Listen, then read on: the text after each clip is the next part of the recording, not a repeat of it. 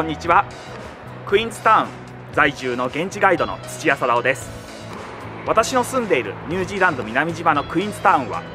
約150年前にイギリスのビクトリア女王にふさわしいほど景色が綺麗だということで名付けられた山岳リゾートです、えー、後ろのように湖と山々に囲まれているので平地がとても少なく街が広い範囲に点在しています。そこで今日はここクイーンズタウンでの宿泊施設の選び方についてちょっとお話ししたいと思います。クイーンズタウンの宿泊施設の場所は大きく分けて3つあります。1つ目は街の中心部。2つ目は少し離れていてシャトルバスが必要なところ。そして3つ目は空港近くや郊外の住宅地です。交通渋滞にはまらなければ全て空港から車で20分の範囲です。1つ目のクイーンズタウンの中心部から歩いて10分以内にあるホテルです。中心部のレストラン街を取り囲むようにその外側にホテルやモーテルといった宿泊施設があります。これらの利点は街の中心部繁華街まで歩いて行けることです。夕食を食べてお酒を飲んだ後歩いて帰ってこられる範囲です。中心部にはレストランの他にもお土産屋さんやスーパーマーケットがありとても便利です。例えばアクティビティによっては街の中心部に集合の場合があるのでこれらのホテルの方が便利な場合があります。その代わり例えばレンタカーを借りているとホテルでの駐車料金が余分にかかったりとかですねホテル周辺での路上駐車スペースを、え見つけるのが難しかったりします。例えばこの後ろに見えるように街中は歩ける範囲なのでクイーンズタウン滞在中にはレンタカーを借りないといった、え割り切った選択肢もありだと思います。ホテル名としてはソフィテルクラウンプラザ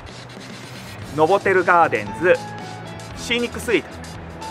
ホリデーインエクスプレスミレニアムコプソーンリッジーズ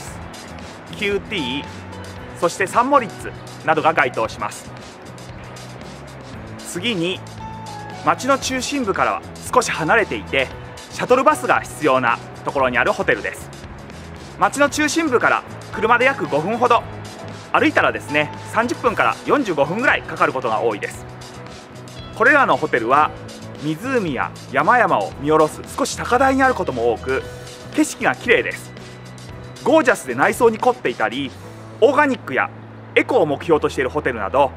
個性的な宿が多い印象があります。価格帯も街の中心部のホテルに比べて少しお手頃価格になっています。その反面ホテルのシャトルバスが有料や予約制だったり路線バスを使わないと街中に行けなかったりするホテルもあります。街の中心部にはレンタカーで行っても手軽に駐車できる場所は非常に限られているので街中に行くのが少し億劫になりがちです。例えば夕食や朝食はホテルのレストランを使ったり街に行くスケジュールを事前に考えておくのが良いかもしれません。夜10時ぐらいまで空いてるお土産屋さんがタクシーを出してくれたりすることもあるので夕食後の買い物がてらこのお土産屋さんを除いてですねちょっと訪ねてみるのもいいかもしれません。日本人観光客がよく利用しているホテルとしてはタフナレイクハウスヘリテージメルキュールザ・リースシェアウッドそしてホリデーインなどが該当します。3つ目は空港近くや郊外の住宅街にあるホテルです。湖畔にあるヒルトンホテルはロケーションも良く水上バスで街まで直接アクセスできます。空港からは車で5分ほどなのですが街中から少し遠いのでオプショナルツアーアクティビティによっては追加料金が必要だったり時間に余裕を持っておく必要があります。それ以外のホテルはビジネスホテルや安い価格帯のパッケージツアーが使うホテルです。価格帯は安く大きなショッピングセンターに近いといったロケーションもあるのですがクイーンズタウンらしいこのような景色を望めるところも少なくて街の中心部までの交通機関が少し限られてきます。もう何度もクイーンズタウンに来たことがあって地理感覚が分かっている人向けだと思います。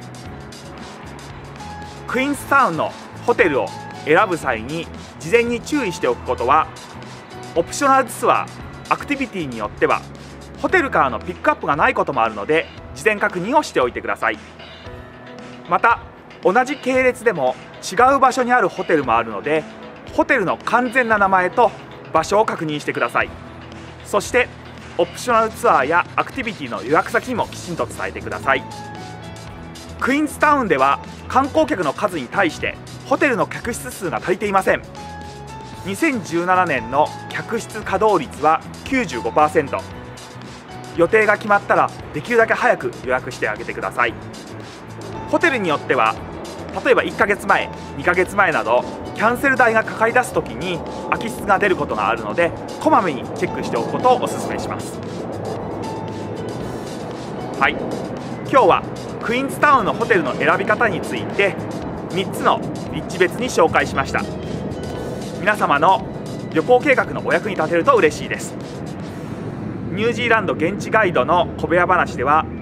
YouTube 動画コンテンツやライブ配信ホームページで皆様のニュージーランド旅行のお役に立てる情報を発信していきます。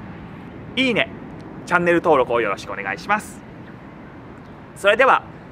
次に皆様とニュージーランドでお目にかかれることを楽しみに待っています。どうもありがとうございました。